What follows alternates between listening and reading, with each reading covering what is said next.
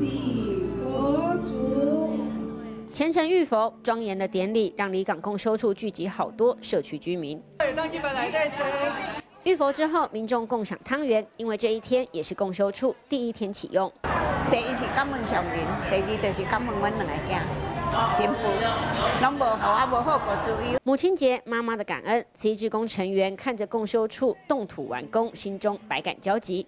因为过去二十五年，当地的职工要做环保，四处迁移。因为我环保无为人肯，比比我无人无厝通大较较严重啊，嘿，啊，着找着找所在安尼啊，啊，着找来拍你店啊，拍你店，搁找去过江啊，河岸边。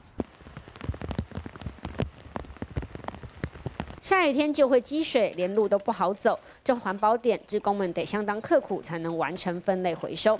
新的公修处完工后，一百一十平的土地，除了大讲堂、雨水回收池外，预计有四十平的位置可以安心做环保。遇到逆境的时阵，嘛是会想要退转。没，想到上人那一幕，我就是想想把赛七七的，搁再行。坚持让共修处完工启用，也让离港多了一个文法修行的好去处。大新闻真善美志工戴敦仁，屏东报道。